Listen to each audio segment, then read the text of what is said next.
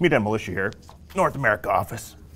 I'm here to pump you up about the weekends and upcoming events in World of Tanks.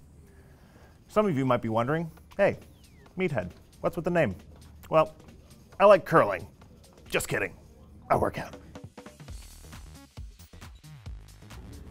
Football mode also started today, so get out there and play with your ball. The VK and the Mutts are on rental, so you can get those, or if you want to participate otherwise, take your preferential matchmaking IS6 or FCM and destroy them. Next week, we're having our first third Thursday throwdown. You don't know what that is? Well, it's like the Hurricane Mutts, except a little bit more controlled, and form is everything. Doing cardio sucks, much like training your crew. Lucky for you, times two crew XP this weekend. Get out there, make it sweat. What is this?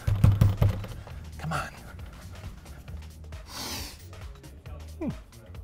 This week's community question What's your favorite snack while playing World of Tanks? In the comment section, let me see what you got. As always, I'll see you on the battlefield, and please subscribe.